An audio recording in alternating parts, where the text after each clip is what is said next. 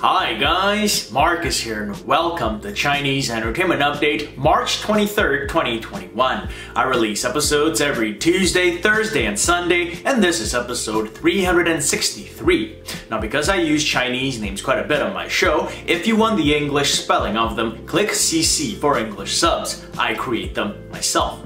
In today's episode, Master of My Own with Kenny Lin and Seven Tan begins filming and Yang Mi apologizes for her comic waist challenge. But first, here's what's recently premiered. In Love with Your Dimples is a modern romance drama starring Estelle Chen and Xu Kaixin, and it premiered yesterday, March 22nd. Estelle Chen's character is a desk clerk whose brilliant talent and interesting spirit catches the attention of three handsome dudes, one of whom is the president of the company she works for.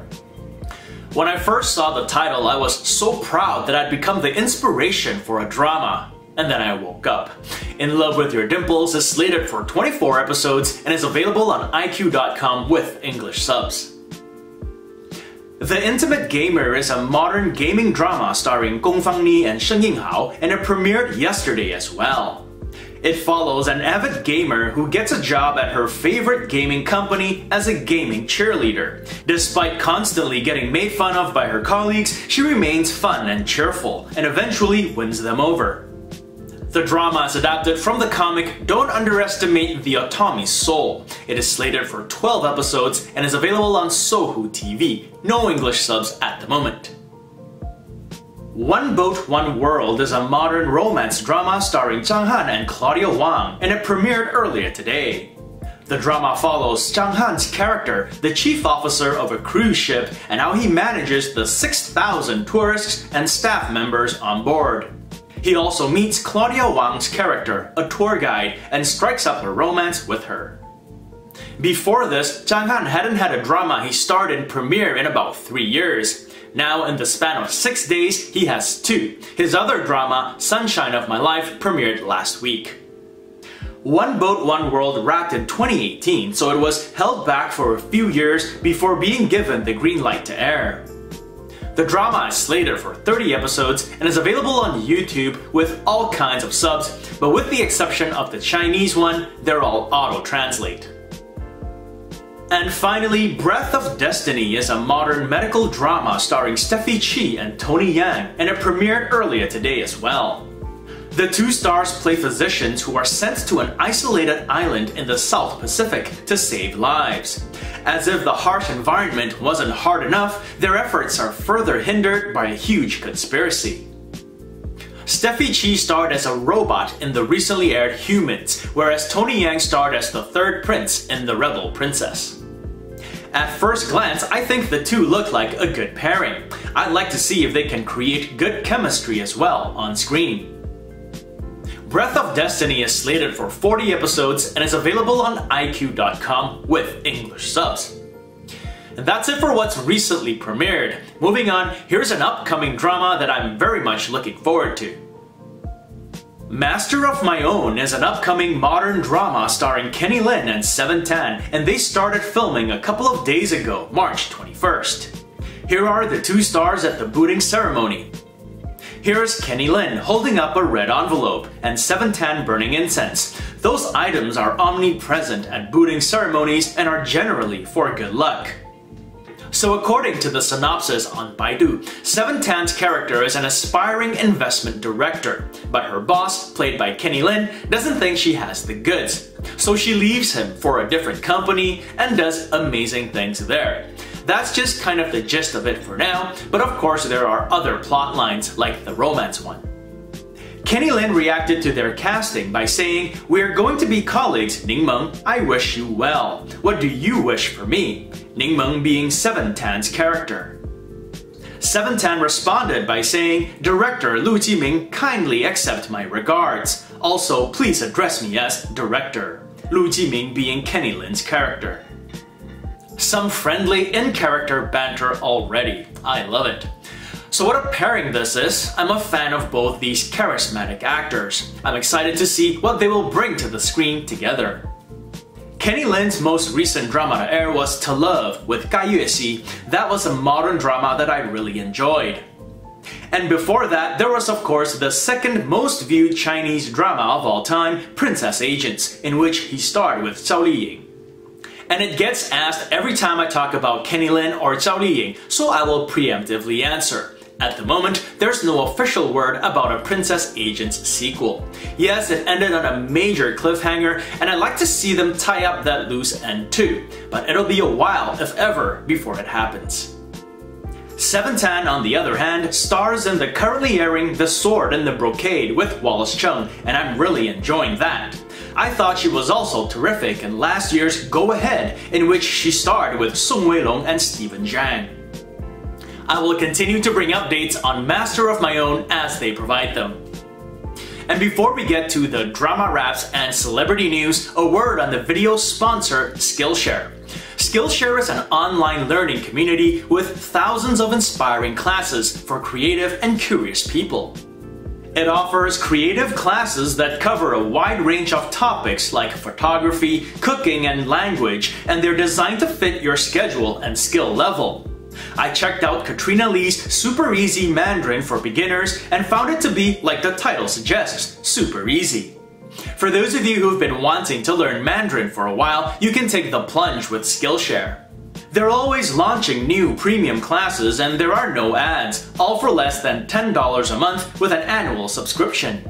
However, the first thousand people to use the link in my description will get a free trial of Skillshare Premium membership.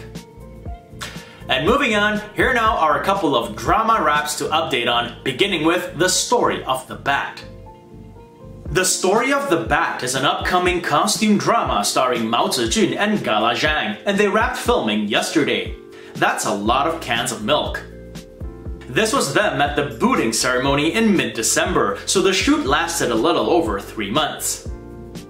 The drama is adapted from the boys' love novel entitled Bat, written by Feng Nong, and in it, Mao Zijun, Gala Zhang, Rain Lu, and Liu Yuhan play four young heroes in the pugilistic world who pursue an infamous murderer called Bianfu, or Bat. Mao Zijun stars in the currently airing Killer and Healer. Many of you have been singing its praises in the comment section, and I take your word for it, so I'm gonna be checking it out real soon. And another drama that's recently wrapped filming is My Wife is a Thief.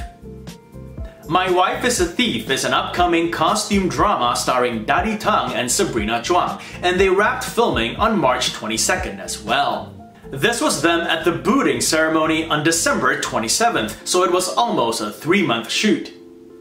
Daddy Tang plays an official who gets into an arranged marriage and has no feelings whatsoever for his seemingly boring new bride. Little does he know that she is actually a legendary and mysterious thief who he falls in love with after several confrontations. Daddy Tang can be seen in The Sword and the Brocade where he plays Oh Yan-sing, the second male lead character.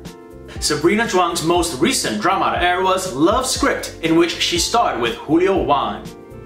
More updates on these two costume dramas as they provide them. And moving on, here's some celebrity news with Yang Mi. Yang Mi issues an apology and removes her comic waist challenge picture. In Mandarin it's Manhua Yao which translates to Comic Waist Challenge, and apparently it was trending for a while. And like any other online challenge, people were photographing themselves doing it and posting it online. And this is what it was thighs and legs on the chair, mid and lower abdomen against the side of the chair, and the rest of the body on the ground. I guess it really stretches the waist, hence the waist challenge. So a few days ago, Yang Mi, who's an avid comic fan, completed the challenge and shared her picture. Boy, if I did that, I wouldn't be able to get up. I'd be pleading for help instead of flashing a peace sign. Anyway, that picture has since been deleted. Yang Mi took it down from social media and explained why in a post. She basically said that she had just learned that doing an activity like that without professional guidance could be harmful to the body. She also apologized and said that she hopes everyone can exercise and stretch safely. From my observation, Yang Mi is one of the most photographed Chinese celebrities, if not the most. Whether it's a magazine spread or a commercial or one of her selfies on Weibo, the first thing I always notice is how slim she is. But the funny thing is, I don't notice it as much in her dramas. Maybe it's just a different type of picture, or maybe it's the costumes. In any case, this brings me to the final segment of the episode. Where's Marcus at? So the title of the segment it doesn't refer to where I'm at physically, it refers to where I'm at in the dramas I'm following. I'm currently following four dramas. It's the most I've followed at a time, and it's only possible because the Word of Honor episodes are coming out rather slowly on YouTube. So I'm on episode 21 of Storm Eye with Yang Mi and Vin Zhang. The slow burn has paid off as a major incident just happened. I'm watching the drama on YouTube where it's available with English subs. I'm on episode 16 of Word of Honor with Zhang Zehan and Simon Gong. So things are happening at this juncture. Blood has been shed and people's true faces have been revealed. I'm watching the drama on YouTube where it's available with English subs. I'm on episode 25 of The Sword and the Brocade with Wallace Chung and Seven Tan. Seven Tan has been terrific in this, and so have other cast members whose jobs are to make us absolutely hate their characters. I almost threw a shoe at the screen during this scene. Those of you who have seen it will know what I'm talking about. I'm watching the drama on WeTV where it's available with English subs. And finally, I'm on episode 7 of Rattan with Jing Tian and Vin Zhang loving the chemistry between the two lead actors right now. I'm watching the drama on YouTube where it's available with English subs. And that's been another segment of Where's Marcus At? And it also brings this episode to a close. If you want to check out the t-shirt or other Chinese drama merchandise, there's a link to it in the description below. And this show would not be possible without your support, so I thank you all for watching. If you enjoyed it, do subscribe, and don't forget to hit that notification button for more updates. If you'd like to contribute, check out my Patreon page, where for a dollar or more a month, you'll have access to perks like recaps and shoutouts. So stay safe, and as always, I wish you clear blue skies, good health, and happiness. Until next time, cheers!